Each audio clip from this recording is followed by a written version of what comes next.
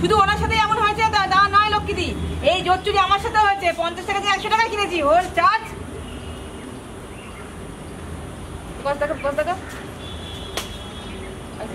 Clear হবে? না হয়নি। এবার এবার নাও। চার্জ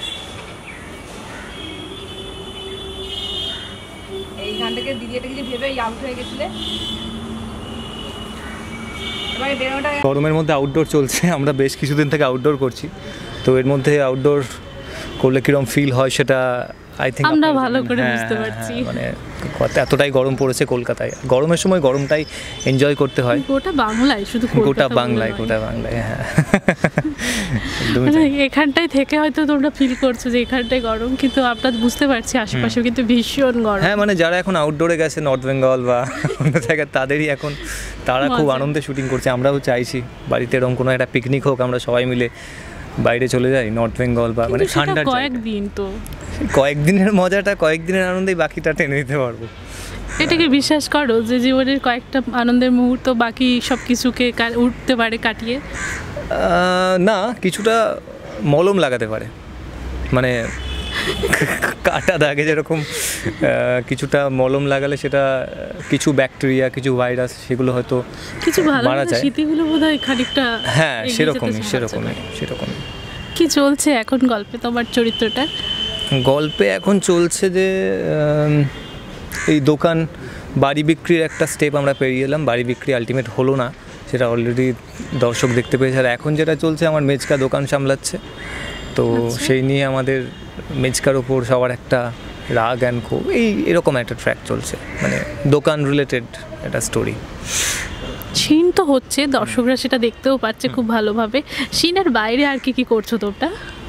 বাইরে কি করছি? বাইরে এই যে আড্ডা গল্প যেটা হয়ে থাকে সেরমই হচ্ছে বাট এমনি জেনারেলি শুটিংয়ে আফটার কল মানে শুটিংয়ে আসার পর থেকে যখন আমরা সিন করি সিনের বাইরেও এভরি ওয়ান মানে আমাদের ইউনিট ভেরি গুড মানে লাকিলি এরকম একটা ইউনিট পেয়েছি। সবাই এত কোঅপারেট এত একটা এটা সারাক্ষণ একটা ফ্রেন্ডস ভাইব সবার মধ্যে থাকে। যে, আর আমাদের ইউনিটের মধ্যে সব থেকে বড় একটা মানে ইউএসপি হচ্ছে আমাদের মানে যারা সিনিয়র আছে তারা খুব একটা সিনিয়র না। মানে আর অপাদি দেবুদার রয়েছেন মানে তারাও এমনভাবে আমাদের সাথে মানে কোঅপারেট করে সব কিছু মানে কথা বলে। মানে আমরা ভাবতেই পারিনি কখনো যে এই দুটো মানুষ এতটা এতটা মানে প্রাণ খোলা হতে পারে।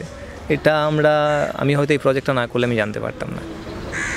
এই স্টুডিওতে কাজ করলে আলাদা কোনো মজা রয়েছে? হ্যাঁ এই স্টুডিওটা আমার কাছে লাকি মানে এই স্টুডিওই আমার ফার্স্ট কাজ কাজের অডিশন দিয়েছিলাম এখানে একটা রুমে তো এই স্টুডিও আমার কাছে অলওয়েজ খুব লাকি আমি যখনই শুনেছি এটাই শ্যুট হবে তখনই আমি মানে আলাদা করে একটা এক্সাইটমেন্ট কাজ করেছে। আর সত্যি কথা বলতে এই স্টুডিওর মধ্যে একটা পজিটিভ ভাইবস আছে।